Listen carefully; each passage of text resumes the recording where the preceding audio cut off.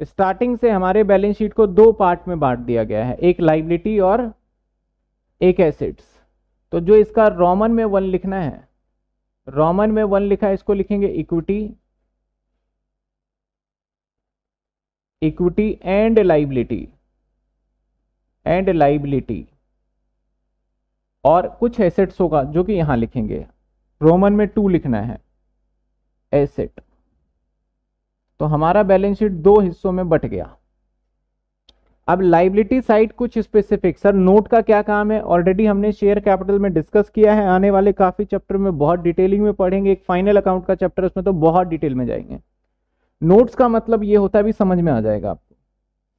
आगे मैंने पहला ए हुआ है, जो ए पॉइंट लिखेंगे। सॉरी ए नहीं, पहले हम वन लिखेंगे। और वन कैप इस तरीके से होगा। यहाँ लिखा जाएगा share share holder holder fund. अब इसके अंदर काफ़ी सारे पार्ट्स हैं जो कि आपको लिखना है। जैसे ए पार्ट है हमारा शेयर कैपिटल ए पार्ट है share capital sir B part है हमारा रिज़र्व एंड सरप्लस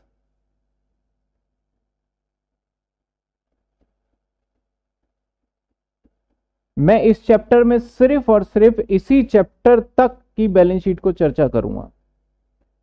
बहुत डिटेल में नहीं जाएँगे बैलेंस शीट चैप्टर नंबर हमारा एक आगे सेवन है आई थिंक जिसके अंदर पूरा बैलेंस शीट करा जाएगा, तब देखेंगे हम। बस शेयर कैपिटल में हालाँकि आता है तीन पार्ट एक हमारा क्या होता है सर शेयर वारंट भी होता है, लेकिन हम अभी शेयर वारंट नहीं लिखने वाले हैं। सिर्फ़ इस्तेमाल दो ही पार्ट होगा हमारा। ठीक है सर और भी कुछ आएगा क्या? बिल्कुल, और भी आएगा। सर, दूसरा नंबर देंगे, हम पता है किसको? Non current liability. Non current current liability. Sir, इसके अंदर क्या लिखा जाएगा? ये हमारा एक हेडिंग ही एक तरीके से, जिसको मेन हेड बोलते हैं। इसके अंदर क्या लिखा जाएगा? इसके अंदर सिर्फ़ मैं ए पार्ट को ही रखना पसंद करूँगा that is long term borrowing long term term borrowing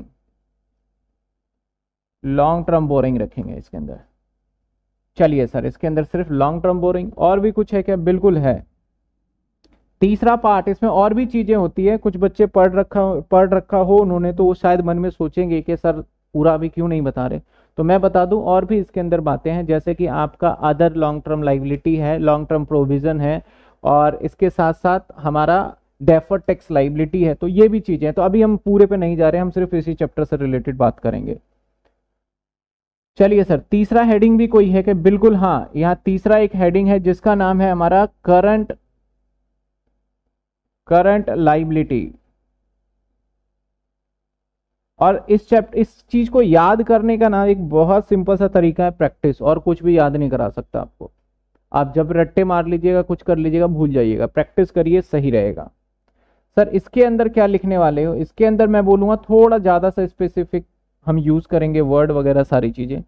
जैसे point number one short term borrowing short term borrowing point number B trade payable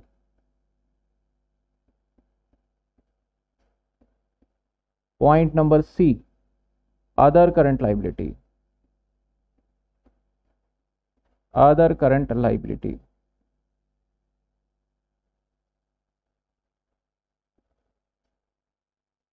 point number D sir point number D short term provision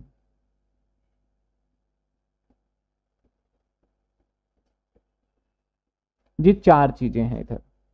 क्या इसमें चारों हाँ बिल्कुल लिखा है तो ये चारों इस्तेमाल हो सकता है। चलिए सर, एसेट्स में। एसेट्स में सबसे पहले आ जाएगा हमारा फ़र्स्ट पॉइंट। फ़र्स्ट पॉइंट के अंदर जाएगा हमारा क्या, सर? फ़र्स्ट पॉइंट के अंदर चला जाएगा हमारा। Non current non current non current non current non current non current asset. अब इसके अंदर कुछ पार्टीशन होने वाला है, जिसमें से ए पार्ट हो जाएगा हमारा क्या, सर? Fixed assets. नहीं, फिक्स एसेट्स। फिक्स एसेट्स का नाम बदल दिया गया है। इसको बोला जाता है property. Property, plant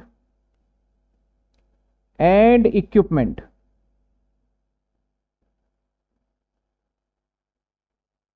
इसका नाम ये रख दिया गया जिसको शॉर्ट फॉर्म में पीपीई भी बोल देते हैं। पहले यहाँ पे फिक्स एसेट्स हुआ करता था, जिनके पास पुरानी किताब होगी, डेफिनेटली फिक्स एसेट्स मिलेगा। बाकी इसका नाम बदल के रख दिया गया है प्रॉपर्टी प्लांट एंड इक्विपमेंट समझ रहे हो बात को? चलिए सर। सर बी पार्ट में। बी पार्ट में आ जाएगा intangible assets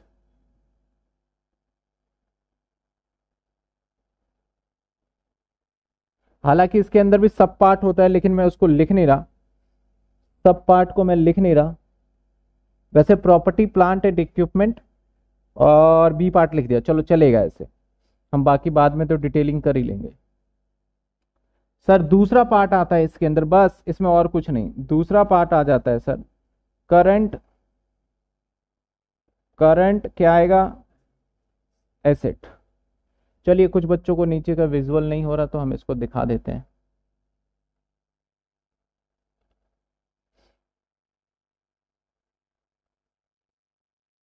sir current assets में क्या क्या लिखोगे? करंट एसेट्स में हम लिखेंगे A part short term sorry पहला पार्ट आएगा current investment current investment B part आएगा हमारा इन्वेंट्री सी पार्ट आएगा हमारा ट्रेड रिसीवेबल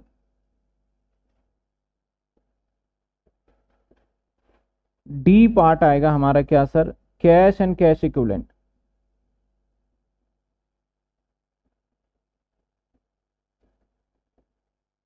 और ई e पार्ट आएगा, सर, अदर करंट लाइबिलिटी।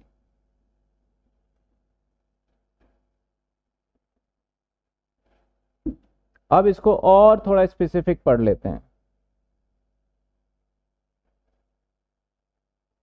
चलिए। अब सर, ये बैलेंस शीट बनाना पीएनडल भी बनाना है? नहीं नहीं पीएनडल नहीं बनाना पीएनडल हम आगे बनाना सीखेंगे। अब ये बैलेंस शीट ना थोड़ा स्पेसिफिक और थोड़ा डिटेल बैलेंस शीट माना जाता है। सर, ऐसा क्यों? ये स्पेसिफिक और डिटेल क्यों? सपोज़ करो, मैंने सपोज़ करिए, मैंने यहाँ पे लिखा, सर, क्या लिखा? शेयर कैपिटल में मैंने लिख दिया दो करोड़। अब दो करोड़ में कौन बच्चा बताएगा कि कितना हमारा ऑथराइज कैपिटल है, कितना हमारा प्रेफरेंस शेयर कैपिटल है, कितना हमारा इक्विटी शेयर कैपिटल है, कितना फोर फीचर हुआ? तो कोई भी नहीं बता पाएगा। क्योंकि सर डिटेल ही नहीं पता। तो सर, अगर मैं आपसे पूछता हूँ ना तो आपको इसकी जानकारी मिलेगी कहा? नोट नंबर वन में। यानी इसके साथ साथ आपको नोट भी बनाना बहुत आवश्यक है। नोट बनाना ही बनाना पड़ेगा आपको। इसका मतलब सर, क्या हर किसी का नोट बनाना है? ये भी एक टेक्निक है आप समझ जाइए किसका नोट बनाना है और किसका नहीं बनाना है। मैं अभी फ़िलहाल हर किसी का बना दूँगा ताकि आपको आइटम पता चल जाए। और इसको याद रखना है, भूलना नहीं है। वैसे भी भूलोगे नहीं क्योंकि सारे चैप्टर में होगा ये तो। तो मैं पहले बनाने जा रहा हूँ आपका note number one. Note number one, किस नाम से शेयर कैपिटल? और बिल्कुल साधारण नोट बनाएँगे, कोई नहीं दिक्कत है। सबसे पहले लिखने जा रहा हूँ ऑथराइज कैपिटल सबसे पहले लिखूँगा मैं authorised capital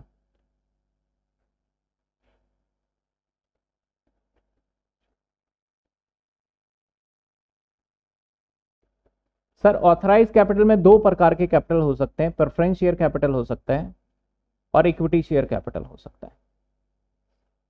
इन दोनों को लिखने के बाद यहाँ लिख लेंगे सीधा। ऑथराइज कैपिटल हमारे टोटलिंग में कोई रोल प्ले नहीं करता। टोटलिंग में कोई काम ही नहीं है, बस इसको टोटल करके लिख दिया। इसके बाद आ जाता है सर हमारा इशूड कैपिटल इशूड कैपिटल अब इशूड की बात करें इशूड एंड सब्सक्राइब कर देते हैं। अगर इशूड एंड सब्सक्राइब की बात करें तो यहाँ पे भी दो चीज़ें हो सकती है preference share capital and equity share capital sir, कितने कितने का वो लिखोगे ना, दस रुपए इंटू में बी दस रुपए इंटू में अगर पाँच हज़ार शेयर है तो पाँच हज़ार इंटू में दस, सौ वाला है तो सौ, वो लिखोगे। मैं लिख देता हूँ। जैसे मैं हज़ार का एग्ज़ाम्पल ले लूँ तो हज़ार, दस रुपये का एक है तो ऐसे मल्टीप्लाई कर देना। अगर सौ है और ये सौ रुपये का है तो ऐसे मल्टीप्लाई कर देना और इसके बाद यहाँ अमाउंट लिख दोगे। जो भी यहाँ टोटल अमाउंट आएगा ना, जो भी टोटल अमाउंट आएगा, इसमें अल्टीमेटली अगर कोई कॉल सिन एरियर रहा तो लेस कर देंगे sir calls in arrear calls in arrear sir अगर किसी ने दस के बजाय नौ ही पेमेंट किया तो नौ से ही मल्टीप्लाई करके लिखेंगे। और उसका एक रुपया यहाँ पे क्या आ जाएगा? कॉल नहीं। यहाँ पे पूरे दस से ही लिखे जाएँगे। जो कॉल सीनेरियर जिसने नहीं दिया, उसको यहाँ लिखेंगे। इसके बाद अगर कोई शेयर फोर फीचर अमाउंट देता है तो ऐड कर देंगे सर क्या शेयर फोर फीचर और जैसे ही हमने ये प्रक्रिया, ये सारा डिटेलिंग कंप्लीट किया, इस डिटेल को उठा के हम कहा लिख देंगे? ये रहा दो करोड़। तो अगर आपसे कोई पूछता है कि, सर, दो करोड़ रुपए कहाँ से आए? तो ये सारी जानकारी अगर आपको यहाँ दे दूँ तो आप उसको हर एक चीज़ को अच्छे से एक्सप्लेन करके बता सकते हो, सर फोर फीचर कितना है? कॉल सीनेरियर कितना है? और ऑथराइज कैपिटल कितना है प्रेफरेंस कितना है इक्विटी कितना है ईच एंड एवरीथिंग वहाँ क्लियर कर सकते हो। लेकिन आपको इतना डिटेल में नहीं करना, आपको सिर्फ़ शेयर कैपिटल दे रखा है। जब दो से ज़्यादा जानकारी हो, एक से ज़्यादा, मैंने दो बोल दिया। जब एक से ज़्यादा जानकारी हो, सर एक से ज़्यादा मतलब इक्विटी भी प्रेफरेंस तब तो ऐसे नोट बनाना। अगर सिर्फ़ बोलता है कि इक्विटी शेयर है तो खत्म, यहीं पे शेयर कैपिटल के आगे पूरा लिख देना नोट नंबर नहीं लिखना वहाँ पे। चलिए ठीक है, सर। एक नोट तो बन के तैयार। अब दूसरे नोट पे आ जाते हैं। ठीक है। दूसरे नोट पे आ जाते हैं। Note number two. Sir, note number two किसका बनाओगे? Reserve and surplus. बहुत इंपॉर्टेंट। Reserve and surplus. क्या क्या आएगा? सबसे पहले आएगा इसमें, सर जनरल रिज़र्व ऐसा कोई स्पेसिफिक नहीं है, कुछ भी आ सकता है वैसे general reserve capital reserve debenture redemption reserve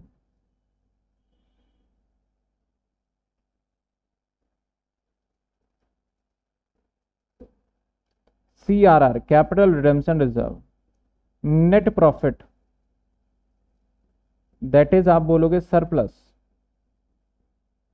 minus हो जाएगा लॉस तो ये सारी जानकारी आ जाएगी रिज़र्व एंड सरप्लस में। और एक सबसे महत्वपूर्ण जानकारी जो लिखा नहीं है, जो कि है सिक्योरिटी प्रीमियम वो भी यहीं आएगा।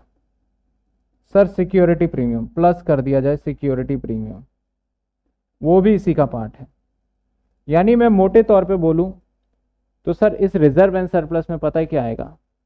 ये सारी जानकारी रिज़र्व एंड सरप्लस में आ जाएगा जो आपके सामने घी बना चाहे वो आपका फ्री हो या फिर फ्री ना हो। फ्री का मतलब उसे आराम से हम यूज़ कर सकते हो तो उसे बोलते हैं फ्री रिज़र्व। जिसको आराम से यूज़ ना किया जा सके, उसको बोलते हैं आपका कैपिटलाइज रिज़र्व। तो ये सारा वहाँ आ जाएगा, इसमें से कुछ भी हो सकता है। ये भी हो सकता है sir workman compensation insurance fund revaluation reserve सब हो सकता है उसके अंदर। तो मैंने ये आपको दिखा दिया। सर, जैसे ही नोट नंबर टू बनेगा, यानी ये वाला कंप्लीट यानी सर, अगर मैं यहाँ पे लिख दूँ नोट नंबर टू और यहाँ पे लिख दूँ मैं पचास हज़ार रुपए तो क्या इसकी डिटेल आप दे पाओगे? दे पाएँगे। ये यहाँ से देख के दे देंगे। सर, जो हम सवाल कर रहे हैं या जो भी हम काम कर रहे हैं, क्या इसके अंदर हमें नोट नंबर वन और टू ऐसे ही डिटेल में बनाना है? अगर मान लो नोट नंबर वन बनाने की ज़रूरत नहीं पड़ेगी, क्योंकि शेयर कैपिटल अभी जो पिछला क्वेश्चन था ना नंबर वन वो मैं करके दिखाऊँगा पूरा। तो आपको खुद ही अंदाज़ा लग जाएगा क्या बनाना है और क्या नहीं बनाना, ठीक है? अभी तो मैं डिटेलिंग के लिए कर देता हूँ कि आपको पता चले कि भाई क्या क्या होता है, क्या नहीं होता। बस डिटेलिंग है यहाँ पे। चलिए सर। और भी आ जाते हैं आगे। बस एक ही है डिटेलिंग और कुछ बचता ही नहीं डिटेलिंग में तो जी। Note number three sir note number three किसका बनेगा? लॉन्ग टर्म बोरोइंग सर, इसमें क्या क्या आता है लॉन्ग टर्म बोरोइंग में? Number one debenture sir number two loan और कुछ नहीं।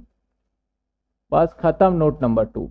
अगर सवाल में सिर्फ़ और सिर्फ़ डिबेंचर ही दे रखा है तो नोट की कोई आवश्यकता नहीं है, सीधा वहाँ पे जाइए और इसके ब्रैकेट में लिख दीजिए डिबेंचर, इसके ब्रैकेट में लिख दीजिए डिबेंचर और अमाउंट डाल दीजिए, तब नोट बनाने की कोई ज़रूरत नहीं है। अगर दो आइटम आ जाए ना, तब नोट बना लीजिए डिटेलिंग के लिए।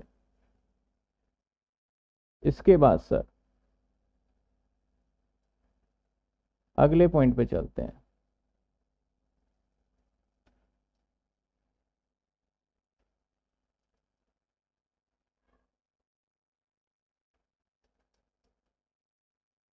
अमाउंट नोट नंबर थ्री के बाद note number four sir note number four में क्या है? Short term boring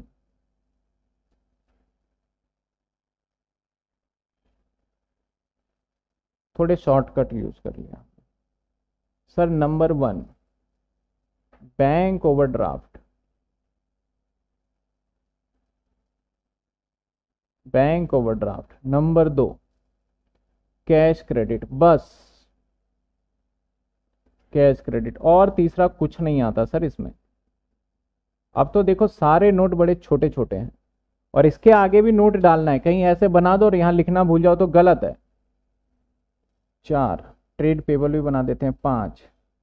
other current छः और इसको सात।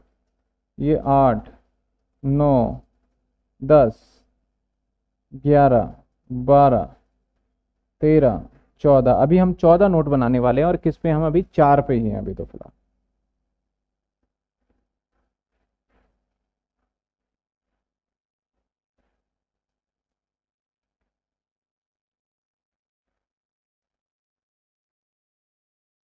सर, एग्ज़ाम में तो बहुत टाइम लगेगा। कोई टाइम नहीं लगेगा, बस प्रैक्टिस होनी चाहिए।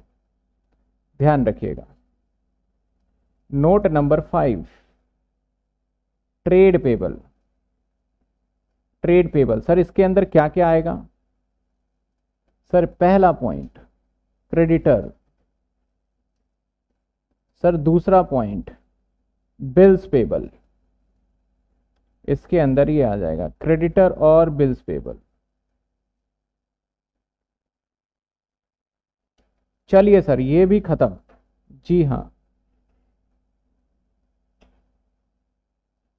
आगे चलते हैं, अगले नोट में।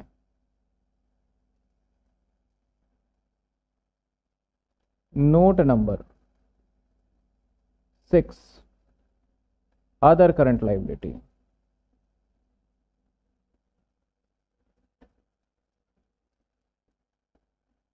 number one outstanding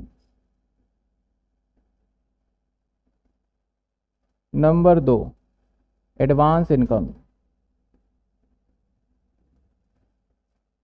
नंबर तीन कॉल्स इन एडवांस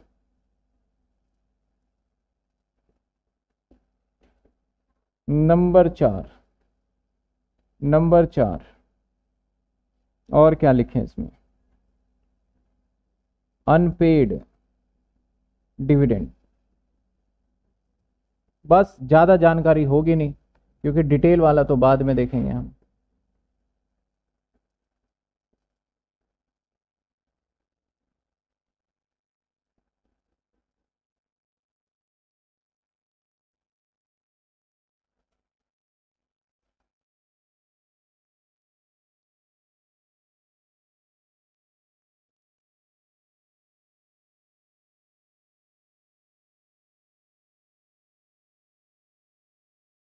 चलिए नोट नंबर कौन सा बनाएँगे? नोट नंबर सेवन सेवन में है short term provision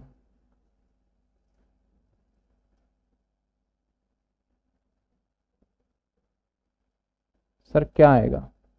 Number one provision for tax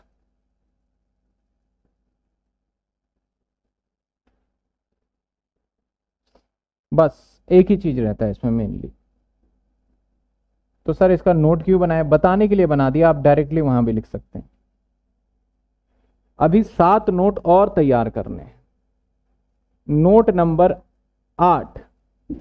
हम दूसरे पेज पे चलते हैं। नोट नंबर आठ।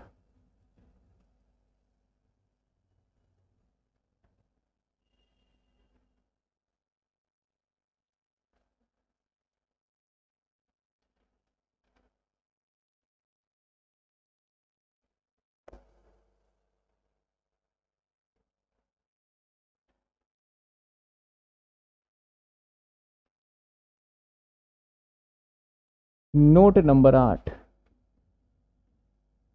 सर, क्या है नोट नंबर आठ? Property, plant and equipment, PPE. Sir, ये ए एस टेन के अकॉर्डिंग बनाया जाता है। जैसे, यानी सीधी बात फिक्स एसेट्स लिखो। Land and building. दूसरा, मशीनरी। तीसरा मशीनरी के बाद, फर्नीचर, चौथा अदर फिक्स एसेट्स लिख देता हूँ मैं। सर अदर फिक्स एसेट्स मतलब सब कुछ आ गया फिक्स एसेट्स वाले, मोटर आ गया, कार आ गया इक्विपमेंट आ गया आपका, सब कुछ अदर वाला चलिए सर। ये चला जाएगा नोट नंबर आठ में। नोट नंबर नाइन, हालाँकि कभी नोट नंबर नाइन की ज़रूरत पड़ेगी नहीं इस चैप्टर में, बाकी चैप्टर में तो खूब पढ़ने वाली है। Intangible एसेट्स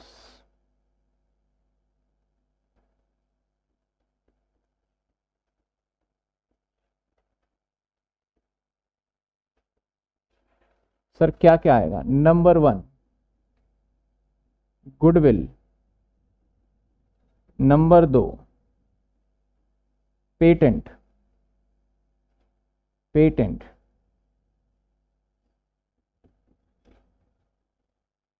नंबर तीन, कॉपीराइट।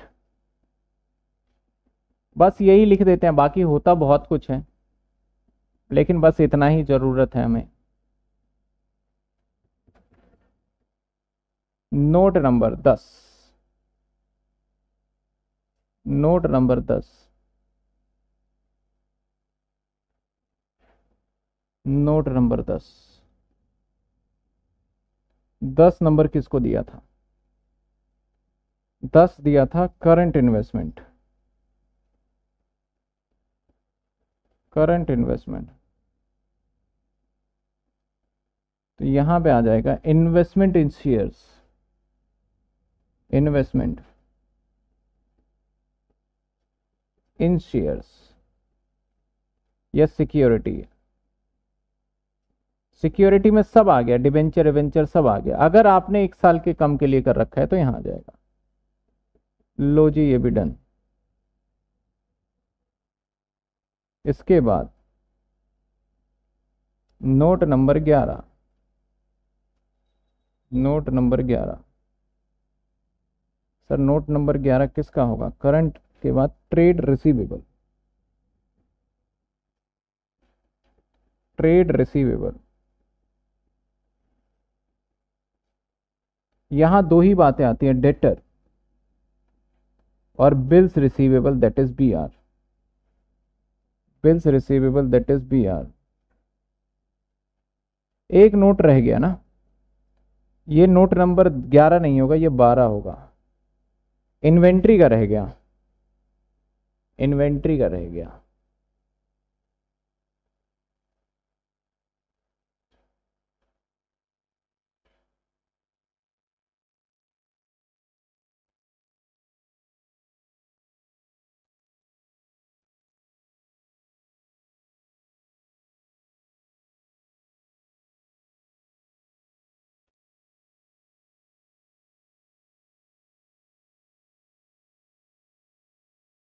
चलिए, अब यहाँ लिख लेते हैं नोट नंबर ये ग्यारह है इन्वेंट्री सर इन्वेंट्री में क्या आएगा? सबसे पहले स्टॉक इसके बाद नंबर दो लूज टूल्स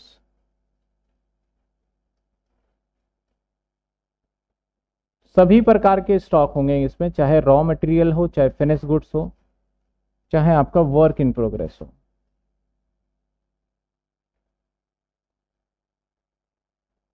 चलिए सर नोट नंबर बारह यहाँ बना चुके हैं, तेरह बनाने जा रहा हूँ। सर तेरह होगा cash and cash equivalent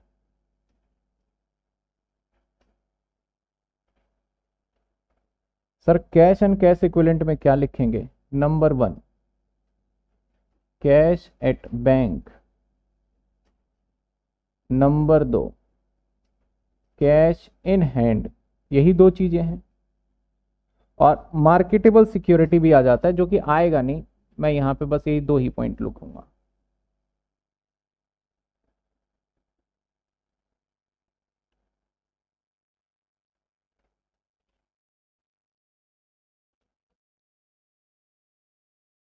चलिए।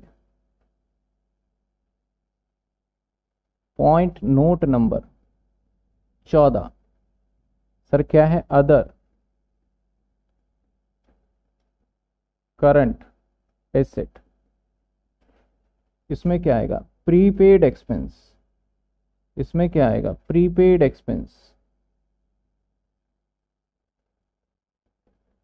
इसमें क्या आएगा? एक्रूड इनकम इसमें क्या आएगा हमारा?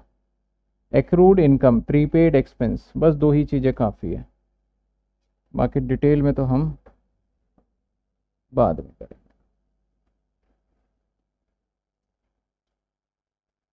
ये एक हमने छोटी सी बैलेंस शीट तैयार कर ली है।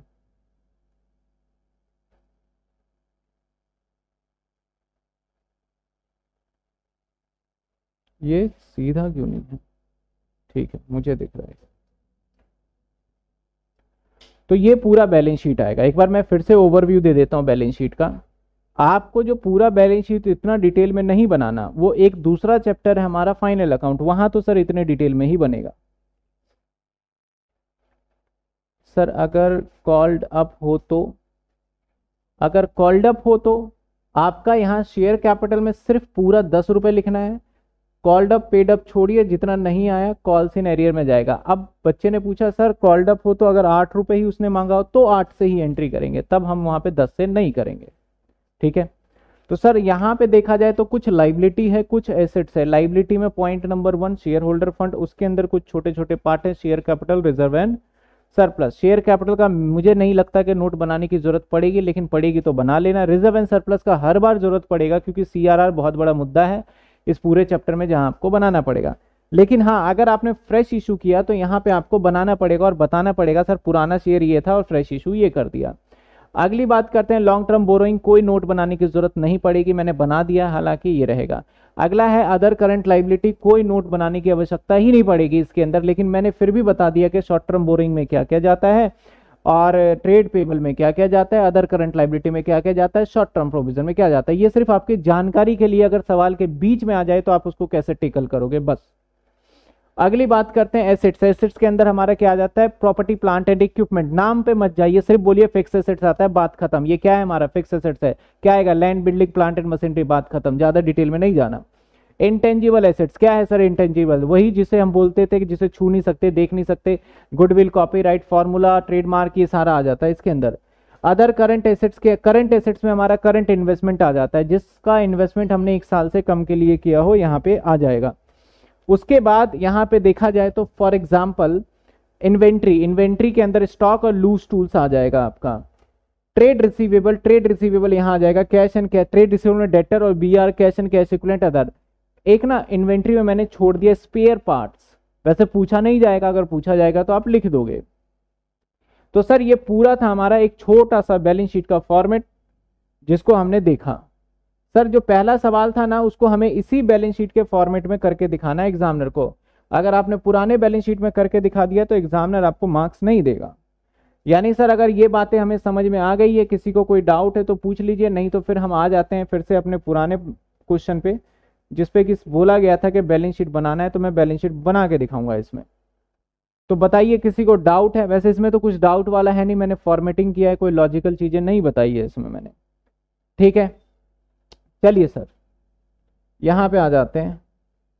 और आपके सामने पूरा क्वेश्चन भी है, बैलेंस शीट भी है, एक पुरानी बैलेंस शीट। आप ध्यान से देखिए लैंड एंड बिल्डिंग प्लांट और furniture and fixture motor vehicles ये सब कहीं एक जगह चला जाएगा, जिसका नाम क्या है? Property plant and equipment stock inventory में चला जाएगा डेटर ट्रेड रिसीव में चला जाएगा। इन्वेस्टमेंट आपका एक नॉन करंट इन्वेस्टमेंट में भूल गया वहाँ बनाना। नॉन करंट इन्वेस्टमेंट का पार्ट होगा। बैंक चला जाएगा कैश एंड कैश इक्विलेंट में। इक्विटी शेयर, प्रेफरेंस शेयर बचेगा नहीं, सिर्फ़ इक्विटी शेयर जाएगा, नए इक्विटी शेयर आ जाएगा। सिक्योरिटी प्रीमियम का हम देखेंगे, माइनस प्लस जनरल रिज़र्व भी आ जाएगा और सरप्लस भी और करंट लाइबिलिटी भी आ जाएगा। यानी देखो, हमारी बैलेंस शीट जो नई बनाने जा रहा हूँ, बड़ी छोटी सी बैलेंस शीट बनेगी। और नोट्स टू अकाउंट तो मान के चलो ना के बराबर बनना है, सर, नोट्स टू अकाउंट सिर्फ़ एक प्रॉपर्टी और शेयर्स वाला मेरे को बनता हुआ दिख रहा है और किसी का तो दिख ही नहीं रहा। सर, ये हो गया हमारा अमाउंट और ये हो गया नोट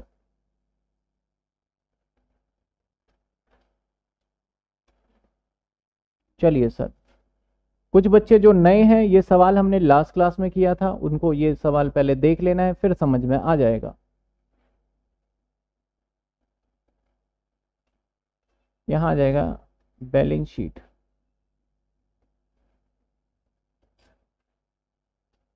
फ़र्स्ट पार्ट। पहले हम ब्लैंक फॉर्मेटिंग में हमने पढ़ लिया है तो मुझे याद हो गया है तो मैं ब्लैंक फॉर्मेटिंग कर लेता हूँ, इक्विटी। और आपने भी कर लेना है पहले, लाइबिलिटी। इसके अंदर देखा जाए तो A part, first part. Share holder fund. चलिए सर, इसके अंदर सब पॉइंट आ जाने हैं। सर, क्या सब पॉइंट आएगा? ए पार्ट शेयर कैपिटल और B part reserve and surplus that's it और कुछ नहीं है। सर, आ जाते हैं हम अब दूसरे पॉइंट पे। दूसरा पॉइंट है नॉन करंट लाइबिलिटी तो अब एक बार सवाल में देख लेते हैं, क्या हमारे पास यहाँ डिबेंचर इवेंचर कुछ बातें कर रहा है ये? तो सवाल में डिबेंचर लॉन्ग टर्म लाइबिलिटी से रिलेटेड कुछ है ही नहीं तो सीधी सी बात है, हम अब दो नंबर जो देंगे वो नॉन करंट लाइबिलिटी को नहीं देंगे, ये मिल जाएगा हमारे किसको करंट लाइबिलिटी को। करंट लाइबिलिटी को मिल जाएगा ये हेड दैट्स इट बात खत्म। सर करंट लाइबिलिटी में क्या इतना स्पेसिफिक चीज़ें दे रखी है क्या? ये चेक कर लो तो सिंपल लास्ट में कहता है करंट लाइबिलिटी छह लाख। तो बस बात ही खत्म, कुछ नहीं लिखना। करंट लाइबिलिटी छह लाख आ जाएगा यहाँ पे। तो आप देखो, मैंने तो बड़ा डिटेल में कर दिया है, बाकी आप इसमें घबराना नहीं है कि सर इतना डिटेल में कौन करेगा पेपर में। और आएगा तो करना तो पड़ेगा वैसे, लेकिन हमें बस थोड़ा रिमाइंड रखना है। चलिए सर, इसके अंदर आ गया first point non current asset और सर नॉन करंट एसेट्स के अंदर पहला पार्ट आ जाता है पीपीई सर, क्या है PPE property plant and equipment PPE और फिर इंटेंजिबल हमारे सवाल में क्या इंटेंजिबल एसेट्स है? मैंने कहा नहीं मिलेगा तो छोड़ दो। इसके बाद क्या आ जाएगा? सर इन्वेस्टमेंट है तो इसका एक पॉइंट और लिख देते हैं। दूसरा नॉन करंट इन्वेस्टमेंट लिखना भूल गया था मैं। नॉन करंट इन्वेस्टमेंट चलिए सर, इसकी भी झंझट खत्म। आ जाइए दूसरे पॉइंट पे। दूसरा है हमारा करंट एसेट करंट एसेट्स में भी हमारा शॉर्ट टर्म मतलब कि जो हमारा इन्वेस्टमेंट है है नहीं। दैट मीन्स कि हमें जो बनाना पड़ेगा, पहला पॉइंट ए पॉइंट देना होगा इन्वेंट्री दूसरा पॉइंट ट्रेड रिसीवेबल क्या डेटर है? सवाल में देखते हैं। बिल्कुल, जी हाँ डेटर है तो डेटर ट्रेड रिसीवेबल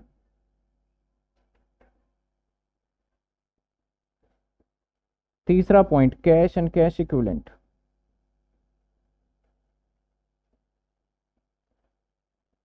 sir इसका किसी का नोट नहीं बनेगा क्योंकि कोई अमाउंट ही नहीं है इतना अच्छा बड़ा। अब हम सवाल को करते जाएँगे फिल करते जाएँगे। नोट नंबर वन बना लेंगे हम। सबसे मेन नोट वन ही रहने वाला है एग्जामिनर का।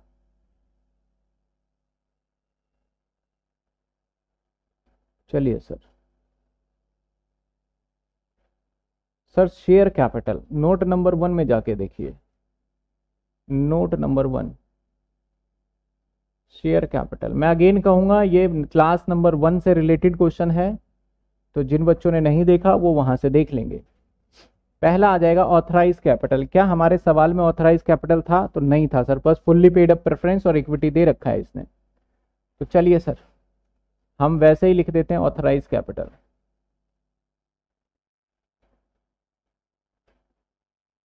चलिए अब कर देते हैं इशूड कैपिटल एंड सब्सक्राइब तो सर पहले पुराने वाला ले लेते हैं ना?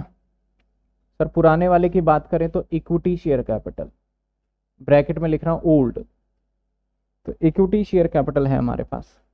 सर, कितने थे? नब्बे हज़ार और बीस वाला, जिसको मिला के क्या बन रहा था हमारा? नब्बे हज़ार बीस वाला। तो बन रहा था अठारह।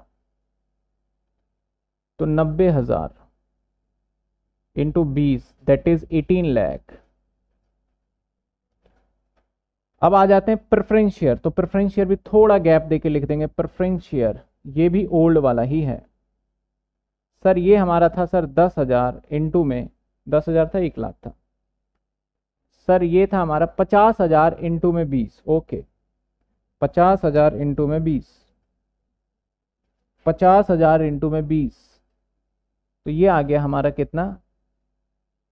दस लाख। अब हमने फ्रेश इशू भी किया है तो जैसे जैसे करेंगे हम एंट्री को लेके चलेंगे। हम अपनी एंट्री को लेके चलेंगे। सर सबसे पहले हम बात करते हैं पहली एंट्री। पहली एंट्री में इन्वेस्टमेंट ज़ीरो हो चुका है बिक चुका है। हमारे पास कोई इन्वेस्टमेंट नहीं बना। तो हमने इन्वेस्टमेंट में क्या कर दिया? यहाँ ज़ीरो लिख दिया यानी बनाने का कोई फ़ायदा ही नहीं हुआ। लेकिन सर ये इन्वेस्टमेंट ज़ीरो कैसे हुआ? ये एक सस्पेंस बना रहेगा इसलिए इसके लिए भी हम क्या करेंगे? एक छोटा सा नोट बना लेंगे। जिससे कि एग्जामिनर को क्लियरिटी मिल जाए कि सर ये इन्वेस्टमेंट बेच के इसका नुकसान भी हुआ था। तो पहले हम लिखेंगे इन्वेस्टमेंट छ लाख लेस सोल्ड पाँच लाख, कितने का बेचा था भाई? साठ हज़ार। और यहाँ लिख देंगे चालीस हज़ार रुपए का। सरप्लस लॉस हो गया। ठीक है? चालीस हज़ार का क्या हो गया हमारा? लॉस ज़ीरो ही आना है यहाँ अल्टीमेटली यहाँ तो ज़ीरो आ जाना है, लेकिन हमें ये डिटेलिंग दे देंगे ताकि एग्जामिनर को अच्छे से समझ में आए। चलिए सर दूसरी जर्नल एंट्री दूसरी जनरल एंट्री नए शेयर इशू करें इसने कितने के? दो लाख के फेस वैल्यू और चालीस हज़ार का प्रीमियम तो नए वाले शेयर इक्विटी शेयर कैपिटल और ये न्यू वाला। कितने का सर दो लाख रुपए का। और बाकी इसने बोला सर प्रेफरेंस शेयर को आप जो ओल्ड वाला है उसको रिडीम कर लो। तो ये तो ज़ीरो हो गया। रिडीम हो गया। है ना? बस जी, बस। और आगे देखते हैं। सिक्योरिटी प्रीमियम है, वो अलग से बनेगा। रिज़र्व एंड सरप्लस, सीआरआर, आप ज़्यादा से ज़्यादा देखोगे, रिज़र्व एंड सरप्लस की ज़रूरत पड़ रही है हमें। तो एक हम बना लेते हैं, रिज़र्व एंड सरप्लस। दो ही बनेंगे note mainly. Property, plant, equipment भी बना लेंगे। हाँ इसमें है दो तीन बातें। सबसे पहले ओल्ड वाली डिटेल लिखेंगे ओल्ड नोट नंबर हमेशा नोट नंबर ये होगा टू तो ओल्ड में क्या क्या डिजिट है? सर ओल्ड में हमारे पास पड़ा था सिक्योरिटी प्रीमियम सर, कितने का सिक्योरिटी प्रीमियम था? मैंने यहाँ मिटा दिया था, पता नहीं कितना था ये। देख लेते हैं।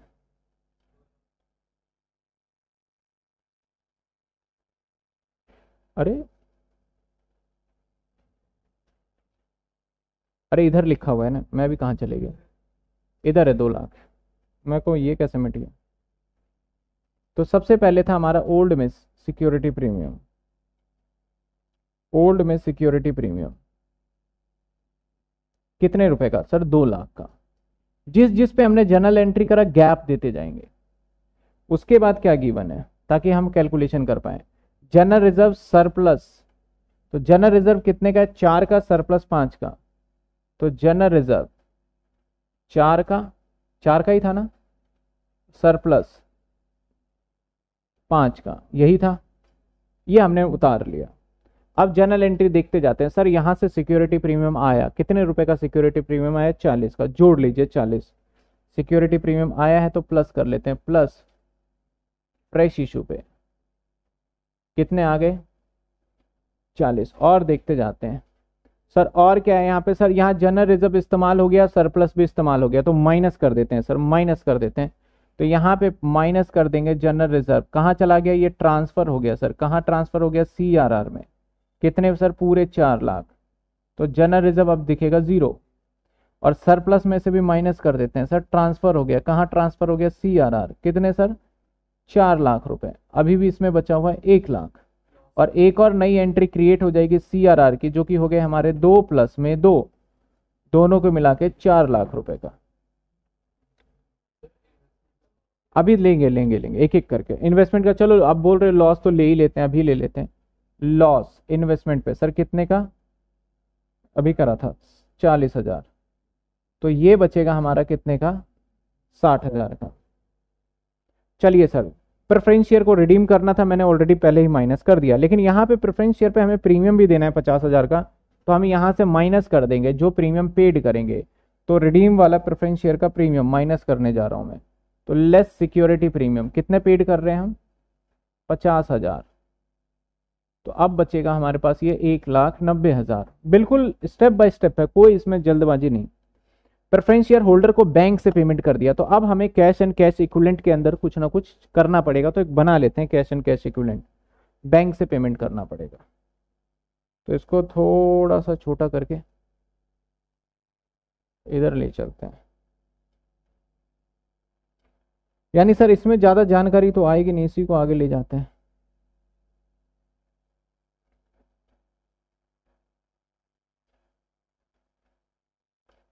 और इसकी जब तक प्रैक्टिस नहीं करोगे, नहीं आएगा, सीधी बात। अब देखो, बच्चे कहेंगे, सर, लेंदी है, दस नंबर, पाँच नंबर में इतना करेंगे, अब है तो करना ही पड़ेगा। नोट नंबर, जो भी आएगा, cash and cash equivalent equivalent cash and cash equivalent sir, क्या है कैश एंड कैश इक्विलेंट में? हम चेक कर लेते हैं। सबसे पहले हमारे पास बैंक में पैसा पड़ा है तीन साठ। तो बैंक बैलेंस है। सर कितने का बैंक बैलेंस है सर तीन साठ। थ्री सिक्सटी और भी पैसा आया सर कहाँ से पैसा आया सर शेयर को इशू करके दो चालीस आया। प्लस इक्विटी शेयर कैपिटल से दो चालीस आया। और भी पैसा आया। कहाँ से आया सर इन्वेस्टमेंट बेचने से आया। कितना आया सर पाँच लाख साठ हज़ार। यानी मेरे जेब में टोटल पैसा हो गया कितना? मेरी जेब में कितने हो गए टोटल पैसे? ग्यारह साठ थ्री सिक्सटी टू फोर्टी पाँच साठ, ग्यारह साठ। चलो ग्यारह साठ हमारे खाते में पैसे पड़ा हुआ है। अब चेक करते हैं सर, आगे आगे बढ़ते गए तो पता चला, अरे यार, दस पचास तो पेमेंट भी कर दिया है। तो माइनस कर दो सर, पेड। दस लाख पचास हज़ार, शायद कुछ बच्चों को नीचे नहीं दिख रहा तो मैं ऊपर कर देता हूँ इसको। दस लाख पचास हज़ार। तो ग्यारह साठ में से माइनस दस लाख पचास हज़ार। एक लाख दस हज़ार बच गए, जो कि हम नोट में ले जाएँगे। आगे आ जाइए जनरल एंट्री ये भी गया एसपी टू एसपी भी हमने कर ही दिया है, बाकी तो कुछ बचा नहीं। प्रॉपर्टी प्लांट एंड इक्विपमेंट में ढेर सारे आइटम है तो हम इसको भी ले लेंगे अभी। अब हमने देखो इधर का सारा आइटम ऑलरेडी हमने कर चुके हैं करंट लाइबिलिटी में लिखा नहीं था, कितने थे current liability sir current liability छह लाख। तो इसी के आगे सीधा लिखिए छह लाख। नोट नंबर वन, ये रहा हमारा नोट नंबर वन, अठारह और दो बीस। बस बात खत्म, और कुछ भी नहीं है। तो सर, ये अगेन आ गया हमारा नोट नंबर बीस लाख, ठीक है? रिज़र्व एंड सरप्लस, ये रहा मेरा रिज़र्व एंड सरप्लस। तो रिज़र्व एंड सरप्लस में कितने हैं? छः चार लाख साठ हज़ार और एक लाख नब्बे हज़ार। चार लाख साठ हज़ार प्लस एक लाख नब्बे हज़ार। छः पचास का हमारे पास यहाँ पे बैलेंस है तो note number two, note number two, छः लाख पचास हज़ार। करंट एसेट्स यानी पीपीई में आ जाते हैं property plant and equipment sir property plant and equipment sir तीन चार आइटम इसलिए बना रहे नहीं तो ज़रूरत नहीं पड़ती।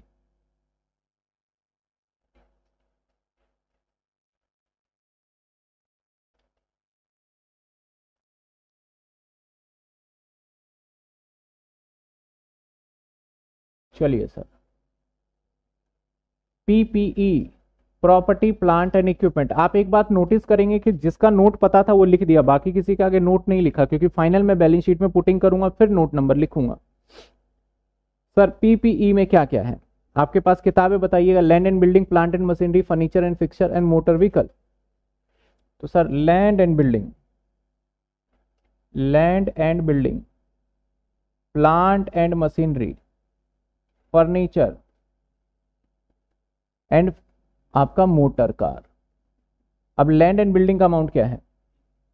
बीस लाख या बीस हज़ार। ओके बीस लाख, पाँच लाख, एक लाख, चालीस हज़ार। बीस लाख, पाँच लाख, एक लाख और चालीस। कैलकुलेशन बहुत सिंपल अगर डिप्रीशिएशन हुआ तो डिप्रीशिएशन माइनस कर देते हैं। लेकिन डेप्रीशिएशन वगैरह तो आगे आएगा। छब्बीस लाख चालीस हज़ार। सर, यहाँ आ जाओ और ये लिख दो, छब्बीस लाख चालीस हज़ार। सर, इन्वेंट्री का कोई नोट नहीं बनेगा, अकेला है।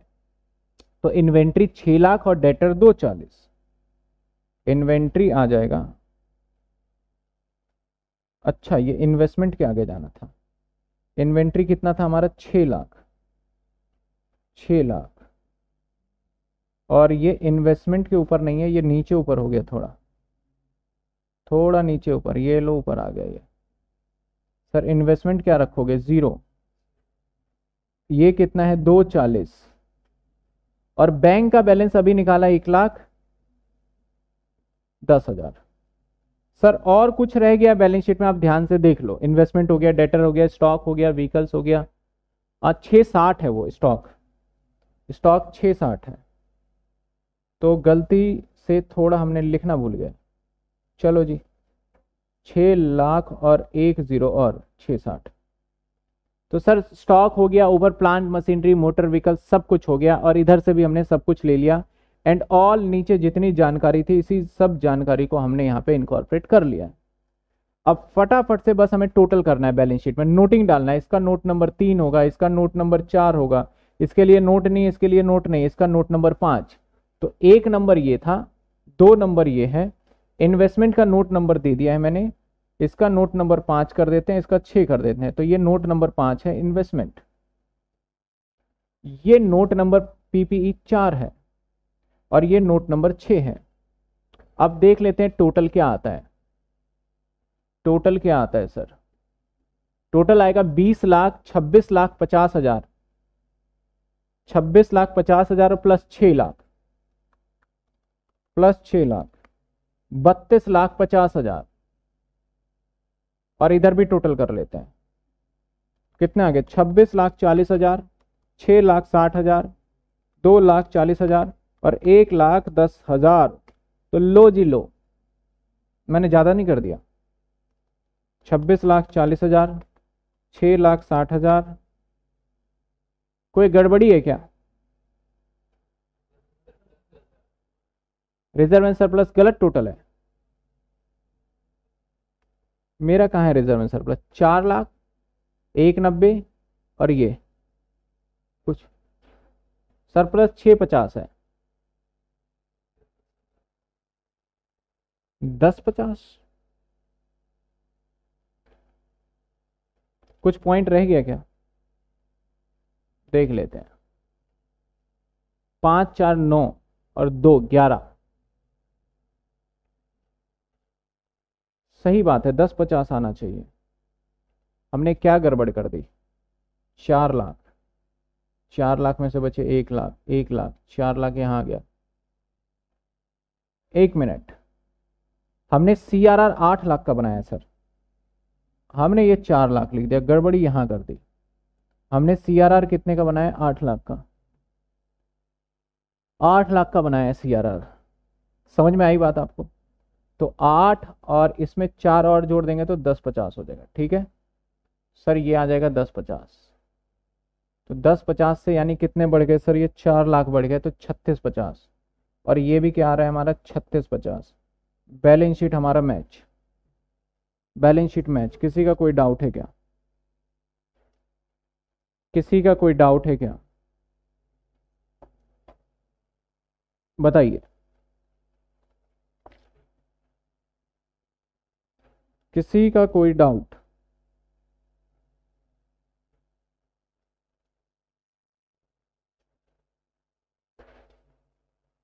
बता दें फटाफट, किसी का doubt. No note number two फिर से बता दें। कुछ समझ नहीं आ रहा, सर। भैया, दूसरी क्लास में तो बच्चों को कुछ समझ नहीं आएगा। पहली क्लास आप देखेंगे तभी समझ में आएगा और जल्दी से जल्दी आज ही देख ले, नहीं तो धीरे धीरे कॉरपोरेट अकाउंट अपना असली रूप दिखाने लगेगा। ठीक है? तो पहले उसे देख लें, कुछ ऐसा नहीं है। अगर आप पहली क्लास देखेंगे तो बड़ा सिंपल तरीके से उसी को हमने यहाँ प्लॉट किया है। और जब भी क्लास देखे ना तो एक आप सभी बच्चों से मैं बोलना चाहूँगा रजिस्टर और पेन लिख के ज़रूर नोट कर ले। एक आप कसम खा ले कि भैया हमें लिखना है, चाहे कुछ भी हो जाए समझ आए, चाहे ना आए, लिखना ज़रूर है पहले तो। लिखने से आपको पता चलेगा बहुत सारी चीज़ें। ठीक है? बच्चों का रिज़र्व एंड सरप्लस में एक बच्चे का डाउट था। रिज़र्व एंड सरप्लस में क्या है? देखो सिक्योरिटी प्रीमियम ये कौन सा है सर ये ओल्ड वाला है, पुरानी बैलेंस शीट में, किताब में देखिए। ये फ्रेश इशू से सिक्योरिटी प्रीमियम आया और ये हमने पेमेंट किया तो सिक्योरिटी प्रीमियम में टोटल बच गया एक नब्बे। जनरल रिज़र्व में चार लाख था जिसको हमने निकाल लिया और सीआरआर में भेज दिया तो यहाँ बचा ज़ीरो। सरप्लस में पाँच था, उसमें से जनरल रिज़र्व के सीआरआर के लिए चार लाख निकाल दिया बचा एक लाख।